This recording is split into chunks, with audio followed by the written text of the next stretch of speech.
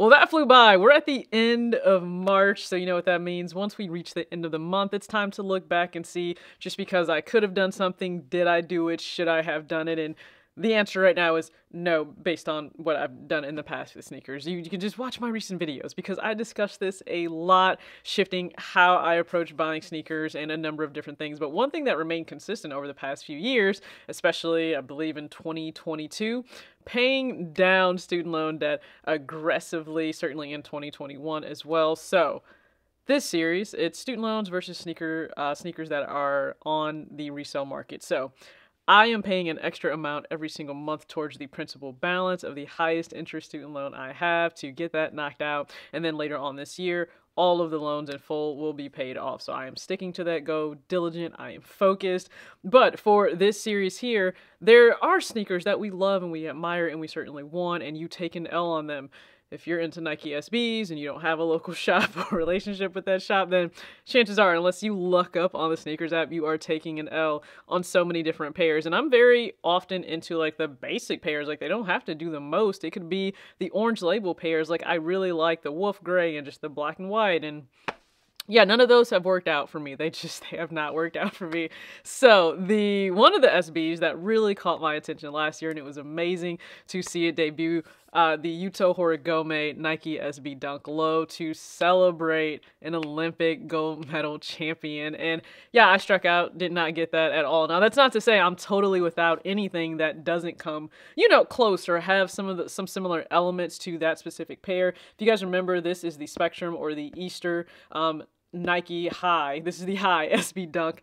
And again, you have some similar elements just in terms of the blue, the lighter green present on here. So um, I need to enjoy this pair more. My SBs are the ones that are not really being moved out except for one pair that was uh, that was sold. But a lot of them will stay in the collection regardless of the pair down that's happening right now. So yeah, if you guys remember, and, and they're a little bit different, right? So they're not um, identical in nature of the paneling themselves, but I still think a really, really cool pair. But for the Yuto pair, so if you look on GOAT right now, if I were to pick up a size six and a half 270 everything shipped it would be 304.68 based on when I last looked at the price prior to filming this video. So 304 well guess what? I paid an extra 300 towards that student loan and I'm just uh, I'm just checking the box okay? I'm checking the box for March moving one step closer towards that financial freedom of not having the fixed costs whatsoever of student loans on my plate and that's a place that I want so many of us to get to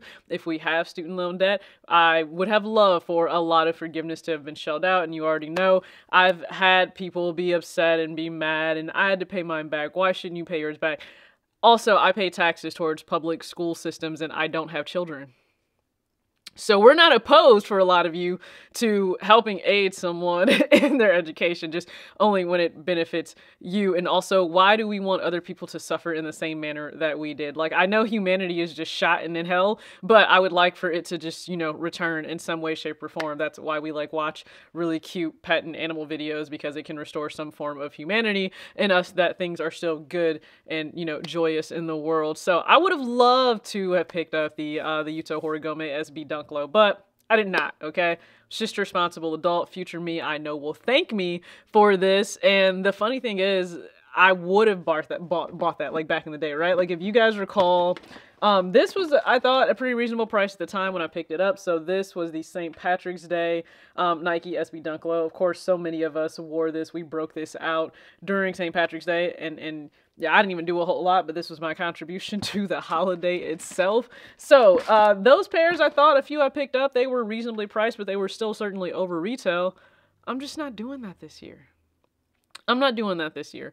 But I love the I love the uh, I guess the exercise of seeing what could I do with that money, right? That's an opportunity cost. I could have spent it on this Nike SB Dunk Low, but instead I put it towards paying down that principal, which of course will diminish the interest that I have to pay over the long-term life of the remaining balances of these loans. So, just TJ here being responsible, and I'm glad that I can be that example here on YouTube and within sneakers. So please go ahead and comment again if there are any goals that you are chasing right now, or what is your favorite upcoming Nike SB on the market. They consistently drop great pairs, and sometimes again they don't overdo it. They're not doing a whole lot, and it works, or they have a collaboration out, and you get introduced to different brands or different uh, you know retailers, designers, athletes. It's always a great thing to see a really quality. Uh, uh, SB come to the market. So I thank you so much for tuning into this. Hopefully you've caught my recent videos because listen, I said uh, I'm going to play the patient game the same way I did with the Nike Obsidian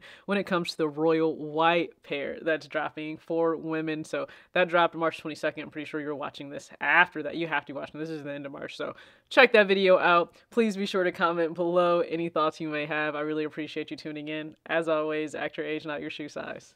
Peace.